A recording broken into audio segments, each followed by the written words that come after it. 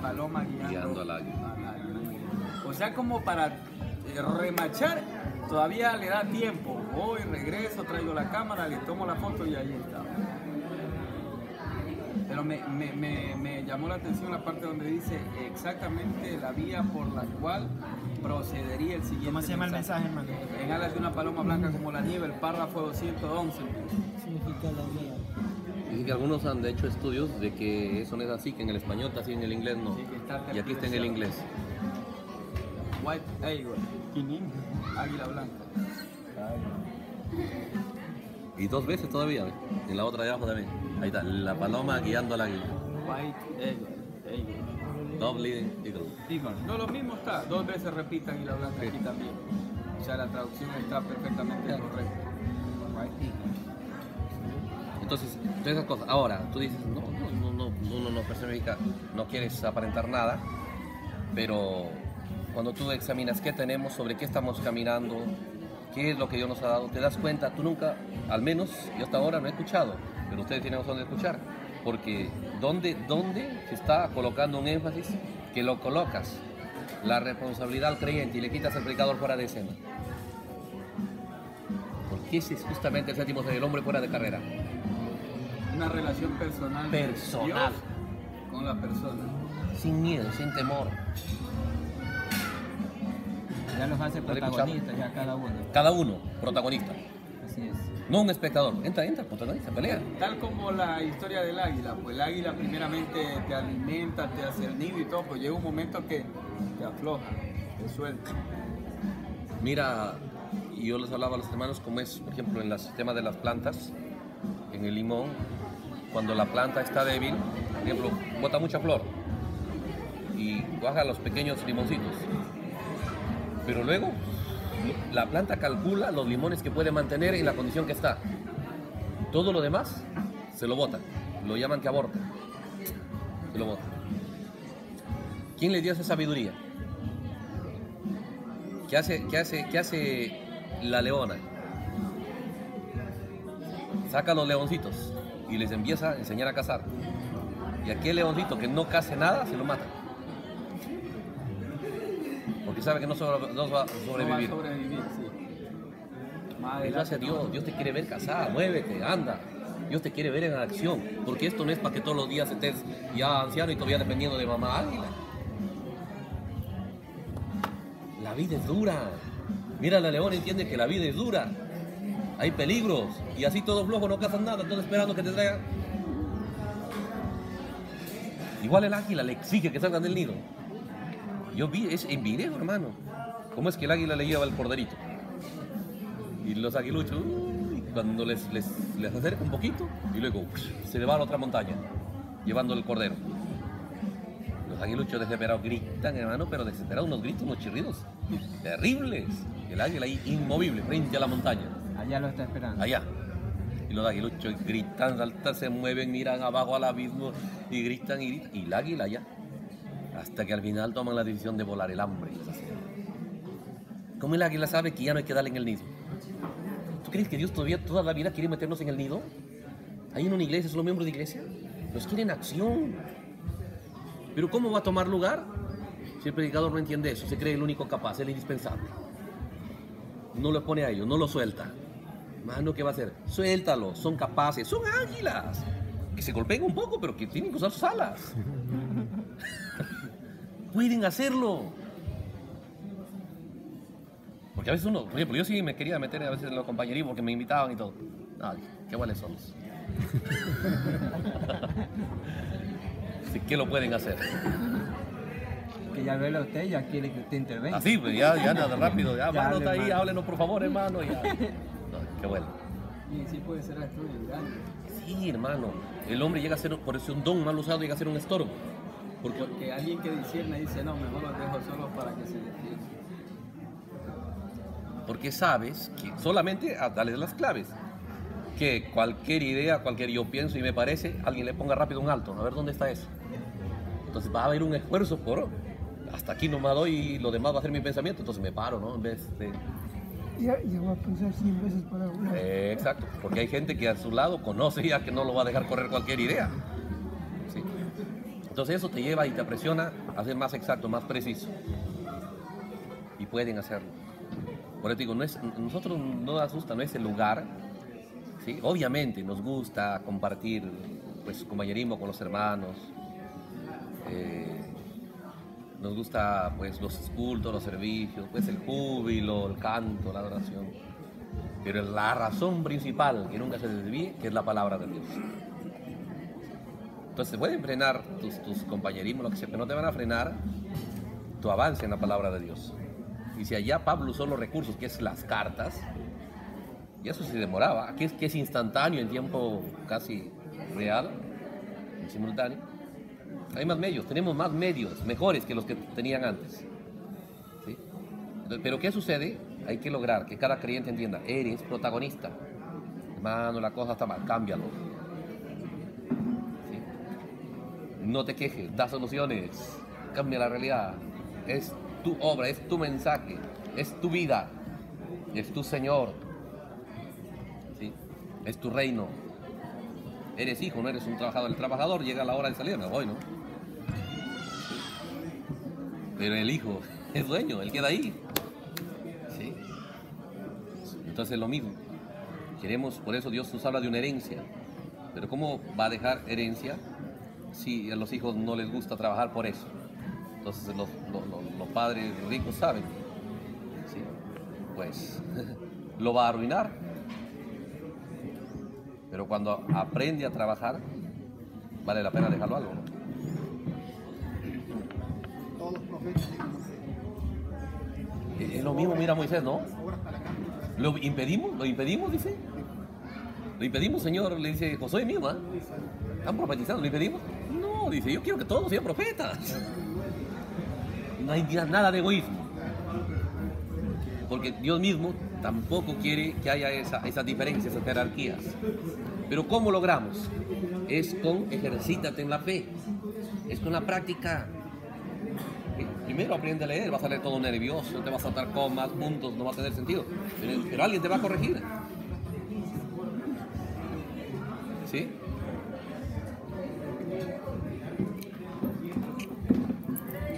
No, y ha sido, y ha sido muy bueno todo este, todo este tiempo porque la gente ha trabajado, ha, ha habido cantidad de compañeros, ¿ah? Del amanecer hasta el otro amanecer. Sí. Y mira, ahí donde es tremendo, el otro escucha a otra liga. ¿Sí o no? Bueno, ¿sí o no? Sí. Nuestro hermano bien, hermano Israel, ¿no? Qué ganas le pone. Y sí, cada uno, hermano, hace su trabajo. Niños, leyendo bien, niñitas. Tratado. ¿Sí o no? Bastantes niños hay en los, compañeros. Sí, ¿no? El niño tiene que ir aprendiendo pues también. No se lo puede parar a los niños. No, Excluir a un niño es el peor error. piénsalo ahora, por eso ahora que hacen el mundo allá afuera con los niños, no, 14 años para abajo, que no salgan, no pueden ir a jugar, no pueden ir al parque, no pueden... O sea, privale al niño, eso es un daño tremendo que le haces. Entonces igual, es un mismo con los niños, déjalo venir a mí, no lo impidáis. Es un trauma irreversible porque lo que ellos desarrollan en esa edad no lo van a conseguir ya en su vida. Ya no. Se acomplejan, que ellos son víctimas, eh, para ellos todo es peligro. Se hacen temerosos a la vida. Temerosos.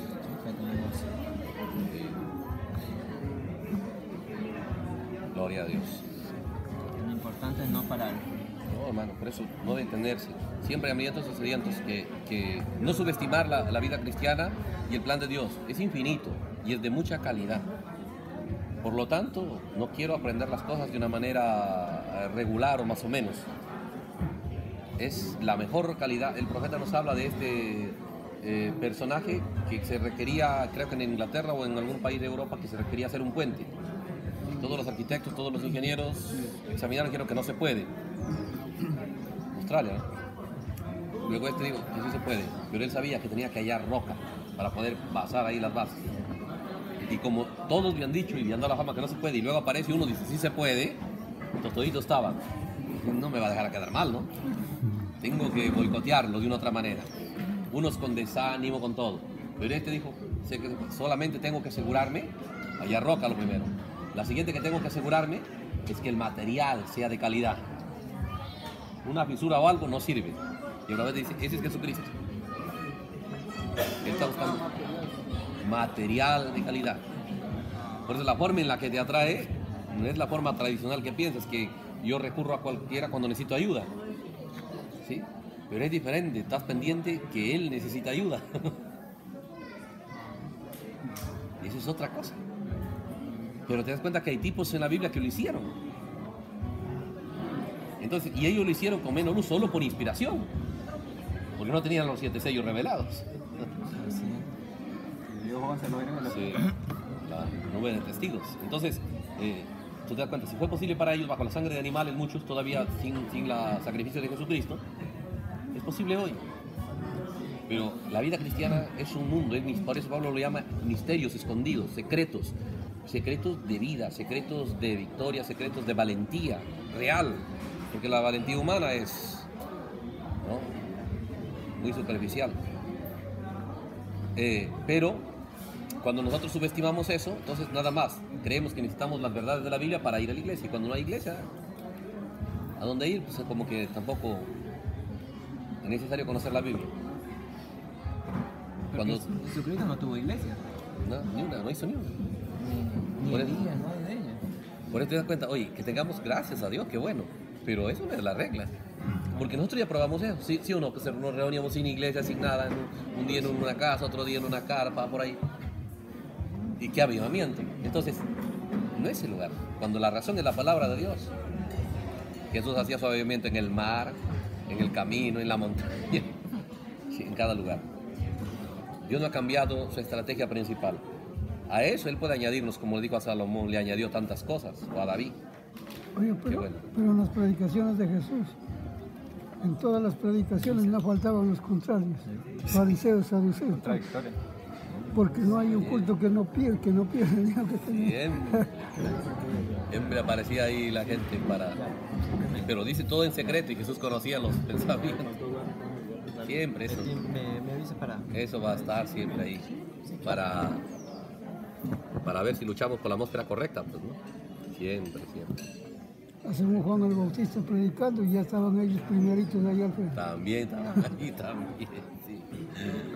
Sí, Pablo, el erudito arquitecto, por todas la- las cartas y epístolas que escribió. ¿no? Y, y Osmandino, pues lo hace el, ve- el vendedor más grande de todos los tiempos. Porque con cada cristiano sigue vendiendo. sigue- Si no había tenido él esa, esa clase de luz y entendimiento, no había prosperado el evangelio de los, de los otros apóstoles porque había sido inentendible. Porque la mayoría de ellos era de acuerdo a todos los ritos judíos. Y era, claro, era hasta cierto punto egoísta Sí. para el gentil. ¿no? En cambio, mire el otro que tenía el respeto, la admiración por el ministerio de los gentiles. El amor de servir a un pueblo gentil que ni era su pueblo. Tiene que ser el amor de Dios porque uno por naturaleza nacionalista, ¿no? Y sobre todo la nación judía, ¿no? Que ahora le pongas el interés a, un pueblo gentil. Y no solo y no que te tratan bien, te agarran, te ponen la soga al cuello, te apedrean, te botan fuera. Y aún así, tener tanto amor para servirlos, de verdad que es impresionante lo que hizo Pablo. Es impresionante.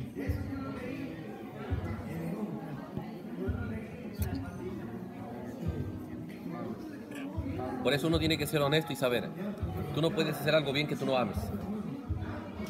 Entonces Pablo para asegurarse, ¿tiene, ¿esto vale? ¿Y ¿Realmente vale la pena? ¿Vale la pena esta carrera? ¿Vale la pena esta escena que voy a participar? Entonces empezó a estudiarlo, ¿de qué se trata? ¿Vale o no vale?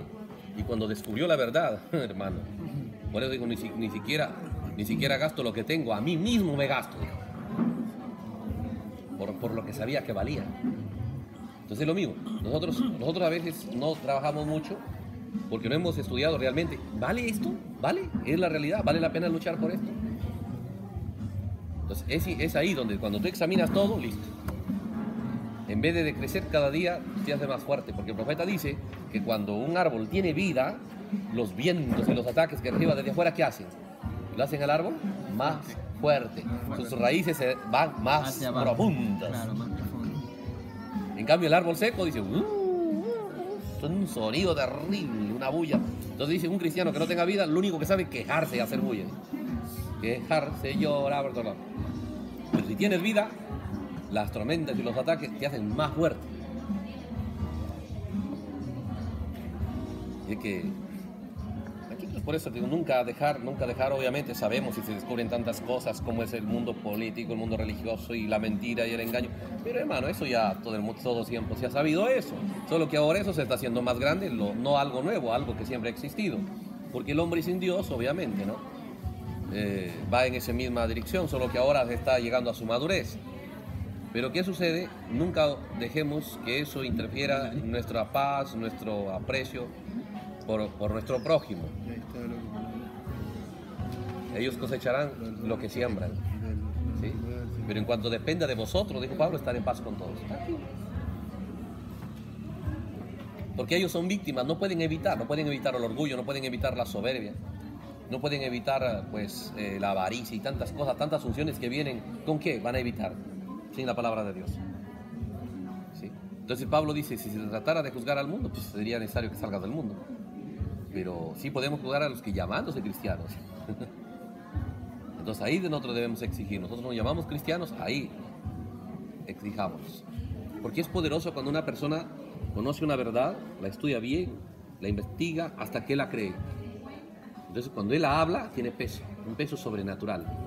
Porque no está hablando algo que aprendió solo en la mente, algo que descubrió que es verdad. Está hablando algo con lo cual trabajó hasta convencerse que eso es real. Y si se trata de operar esa verdad, él es el primero que lo hará. Ella no pone cargas a los demás. Él es, ¿Por qué? Cuando tú investigas algo y eres sincero, trabajas hasta que lo conoces bien. ¿Sí? Una vez que lo conoces bien, te vas a enamorar de esa es verdad, porque es la verdad de Dios, es la gracia, el amor, la capacidad de Dios. Es impresionante. Entonces tú no estás hablando nada más sugiriendo que eso es un proyecto, una posibilidad. No, esta es la vida que yo he decidido operar. Y ahí es donde, por eso todos estos que fueron en busca de David, ¿qué tal si hubiesen escuchado? ¿Te acuerdas soldado poderoso? Y ahora, mira, uno, uno- unos gatitos ya lo derrotaron. Ni siquiera unos perros, unos pequeños ratoncitos lo han corrido. Pero no, esos, esos que huían de hasta de un ratoncito ahora están enfrentándose a ejércitos. Ese es el enfoque. Por eso, ¿cuál es la búsqueda correcta en esta hora? Por amor a que el verdadero, el real evangelismo del tiempo del fin se active. Por el profético no es el amontonar piedra, no es el traer gente, déjalos allá. ¿Te das cuenta que David no amontonó? Ellos lo buscaron. Pero el evangelismo tradicional que era, anda reparte folletos, anda invita a la iglesia, anda trae aquí como a Moody, le, trajeron. Pero el real bíblico es el, es el creyente yendo en busca de eso y enfrentándose a toda la oposición en el camino. Por eso cuando tú, esperas, ojalá la, cuando la cosa cambie, se mejore un poco, no. No esperaron que el Jordán baje. y, qué, casualidad, ¿no? Que, justo cuando el Jordán se desborda, ahí toman su decisión. O sea, para mostrar que cuando la situación es más difícil, ahí donde el cristiano aparece en escena, tomando sus decisiones. Como dice el profeta, si lo de ayer no te gustó, espérate lo de hoy. Va a ser mejor todavía. Sí, cuando Israel salió de Egipto, si caminaban rápido, cruzaban el Jordán, no estaba desbordado, no, pues, estaba seco. Pero demoran en la caminada. Claro, ellos los primeros días de abril, ¿no? Y se desborda. Pero ellos, ah, si hubiesen avanzado, pues digamos un mes, si hubiesen demorado, ya todo se iba abajo. Pero justamente cuando ya Josué va a entrar, espera otra vez el mes de abril. Ahí, cuando empieza a desbordarse, ahí los hace cruzar. Y, y- y luego, cuando van los, los guerreros gentiles, los, perdón, los guerreros que van con David, también dice cuando el Jordán se desbordaba. Ya ellos fueron sin el arca. Y es impresionante. Mire, ahora ya necesitan un arca adelante. Ahora está en ellos. El arca está dentro. Qué impresionante. No le tenían miedo. Por eso dice, el único poder con que Satanás trabaja es el miedo. ¿Cómo derrotó a estos dos millones que salieron de Egipto? Con miedo. ¿Cómo fueron derrotados los días de, de, de- Goliat? ¿Qué sembró Goliat? Miedo. ¿Cómo Saúl fue derrotado? Yo dije, vendrán los filisteos, me atacarán y, y se me huyen, se van. Miedo. Pero ¿por qué David no fue derrotado? No tenía miedo. Como Gedeón. Gedeón, 300. primero, primero estás asustado, todo temeroso. Cuando Gedeón perdió el miedo, con 300 y sin espadas, sin flechas, sin lanzas, sin armas de guerra, Y ganó. y, y- y- y con un cántaro de barro y una antorcha. Con eso vas a hacer la guerra. Y con eso, y eso- ah, su trompeta. No, pues si vas a, vas a la guerra, no- lo primero no hagas bulla, ¿no? Para que no se den cuenta dónde estás. Venga, uh, tocando la trompeta para que sepan dónde estás y las flechas, los flecheros. Ya después concebes algunos está con hambre. Y luego, hambre. No les daban pan, no les daban agua, hambre, sed. Y ni eso lo paró. ¿Por qué? Le, crees a Dios, listo, la victoria viene porque viene. Entonces es lo mismo, hermano. Dios tendrá un pueblo que lo amará exactamente en el mismo nivel que Él ama a su pueblo. Porque lo que siembras, hermano, no, no- no vas a sembrar maíz y luego cosechas algo que se parece al maíz. Cosechas maíz. ¿Qué va a cosechar Jesús? El mismo amor que Él sembró. Y sembró un amor sin límites. El profeta dice todo el, precio más alto que el, el cielo pudo dar. Y no dejó ni una gota en su cuerpo, porque salió la última y luego empezó a salir sangre. Es, perdón, agua. Agua. Eso para mostrar que no dejó ni una gota de su sangre en su cuerpo, la pagó todo. Entonces, Él va a cosechar eso. Entonces yo tengo que vigilar cómo ya está activándose ese amor hacia Él, a su palabra dentro de mí. Y luego cuando miro cómo Él amó y me doy cuenta, no, me falta pues. Entonces, ¿por qué detenerse? Como dice el profeta, el poder más grande es el amor, el amor divino. Y el amor echa fuera el temor. Echa fuera el temor. Solo con amor echa fuera el miedo. Y recordar desbordando, estamos hablando también del mundo pecaminoso, El hombre, la naturaleza humana. el mundo inferior. Sí, mundo invisible. O sea, que sobre todo en este día se ha desbordado por la propaganda. Televisión, periódico, internet, todo pro- promoviendo de todo tipo de contaminación. Entonces está desbordándose el Jordán. Esta es la hora donde está desbordando por todas sus riberas. Y ahí, estos guerreros lo cruzan, lo atraviesan. En esta hora habrá gente, habrá jóvenes creyendo santidad, creyendo una vida pura, creyendo, eh, esposos creyendo en un hogar correcto, tipo de, Cristo y su novia, dones de Dios, en esta hora, en esta hora donde, donde la gente se deja llevar por la corriente. Sí. Porque tú mira, no es que uno quiera motivarse, o tal vez solo automotivarse, o ser un motivador ni nada, pero dime, ¿en qué tiempo Dios va a cumplir su promesa? De tener esa, esa novia que se propuso en Génesis. Si ya no hay otro mensajero, y ya no habrá otro mensaje. Y ya se fue. Ya va a ser 70 años que se fue.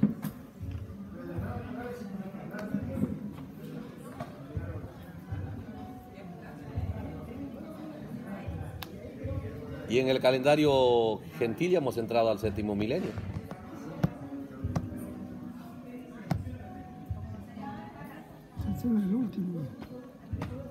Vamos a la última escena. Luego la otra cosa. Mira, mira lo que hemos recibido. Mira cómo Dios ha juntado gente. Mira de cuántos países, gente que moviéndose por qué. No buscando sanidad, no buscando otra cosa, buscando entendimiento de la palabra de Dios. No buscando iglesias. tampoco, No buscando iglesias. otro lado, Cada uno reunido por su cuenta. ¿Qué es eso? Luego el énfasis. Luego el trabajo de cada creyente con la palabra de Dios. Si esto no es la promesa, bueno, será como la antesala, ¿no? Pero algo tiene que ver o no. Así que cuando hubo un abismo claro, Ah, Hay una respuesta. Por eso, hermanos, el secreto en nosotros es que, que nos satisface. ¿Sí? Para cuando conocemos el destino a dónde vamos a llegar, las propuestas en el camino ya no nos detienen. Si quieres me detengo un poquito, tomo un agua, te compro una galleta o algo, pero voy allá. Pero en cambio, si tú no sabes a dónde llegar, ah, mira, acá la tienda, y bueno, ya se hace tarde, a ver, veremos qué hacemos. ¿A dónde vas? No, por acá, salí a pasear, nada más. No tienes un destino definido.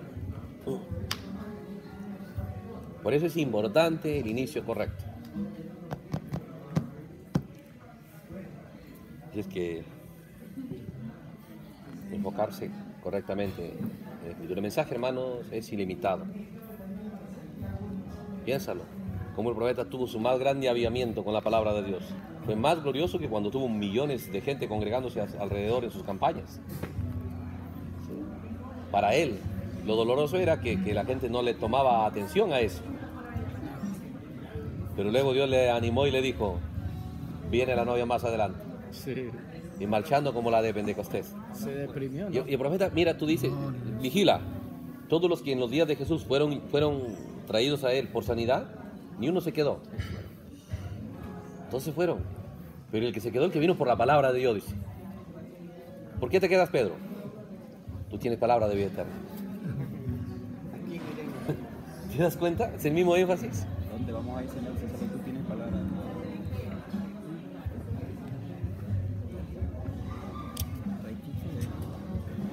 Gloria a Dios.